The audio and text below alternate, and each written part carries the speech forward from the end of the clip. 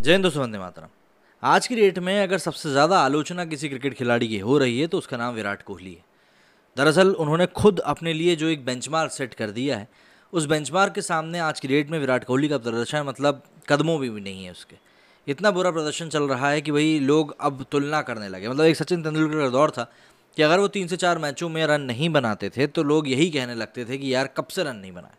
ठीक वही चीज़ विराट कोहली के साथ भी है। सत्तर सेंचुरी इन्होंने मारी है इस लिहाज से देखा जाए तो हर चार से पाँच मैच में एक सेंचुरी विराट कोहली मार ही देते थे। लेकिन आज की डेट में ये आलम है कि करीब तीन साल होने को आ रहे हैं और एक भी सेंचुरी इनके बल्ले से किसी भी फॉर्मेट में नहीं निकली। और इसीलिए अब यही कयास लगाए जा रहे हैं कि भाई क्या विराट कोहली अब पतन की तरफ़ जा चुके हैं।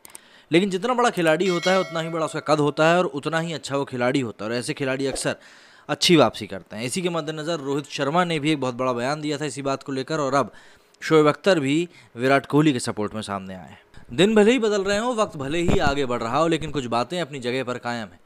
क्रिकेट जगत में ये मसला है विराट कोहली की फॉर्म का।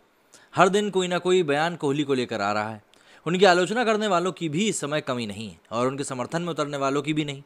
दोनों पक्षों से जोरदार बातें चल रही हैं। इसमें सबसे रोचक बात यह है कि कई भारतीय दिग्गज कोहली को ड्रॉप करने की मांग कर रहे हैं तो पाकिस्तान से उनके पक्ष में समर्थन की लहर चल पड़ी है। पाकिस्तानी कप्तान बाबर आज़म जैसे कुछ मौजूदा खिलाड़ियों ने तो यही किया है। और अब शोएब अख्तर भी उनके आलोचकों पर टूट पड़े हैं। उनका मानना है कि कोहली को ड्रॉप करने की मांग बिल्कुल बेकार है।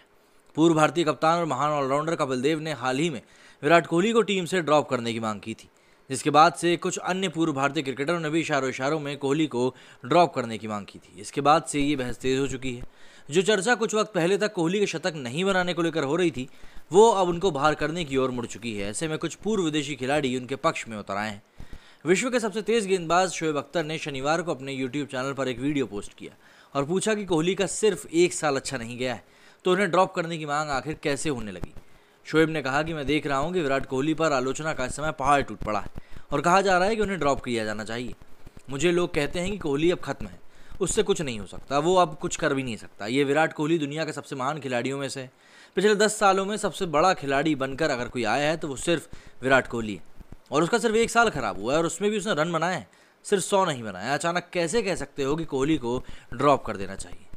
हालाँकि शोएब अख्तर ने कहा कि कपिल देव का अपना एक विचार है और उनको ऐसा कहने का पूरा हक है, क्योंकि वो अपने आप में एक महान खिलाड़ी हैं। इसके बावजूद शोएब ने कहा कि कोहली जब इस दौर से बाहर आएँगे तो वो एक अलग खिलाड़ी होंगे। पूर्व पेसर ने आगे कहा कि कोहली को कप्तानी और मीडिया से जुड़ी ज़िंदगी को पीछे छोड़कर अब सिर्फ़ और सिर्फ़ अपनी बल्लेबाजी पर फोकस करना चाहिए।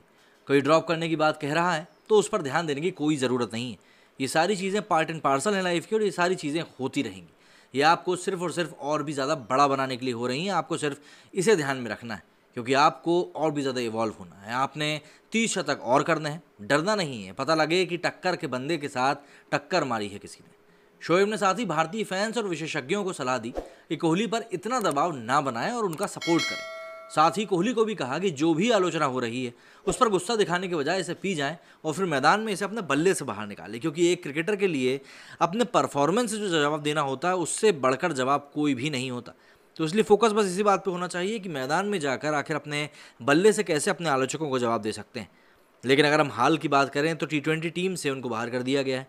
कहा तो ये जा रहा है कि उनको रेस्ट दिया गया है वेस्ट इंडीज़ के टूर से, लेकिन अगर वर्ल्ड कप की टीम में कोहली शामिल नहीं होते हैं तो कहीं ना कहीं यही माना जाएगा कि उनको ड्रॉप किया गया और ये विराट कोहली के करियर का एक बहुत बड़ा सेटबैक होगा।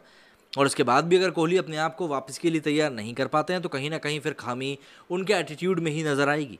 क्योंकि विराट कोहली जैसा खिलाड़ी जो कि एक समय पर रनों का भूखा हुआ करता था, वो अचानक से इस तरीके का कैसा हो गया कि वो समझ में नहीं आ पा रहा, कैसा परफॉर्म कर रहा है, ये किसी के लिए भी भरोसा करने लायक बात नहीं। मेरे स्टूडियो फ़िलहाल इतना ही। जय हिंद, जय भारत।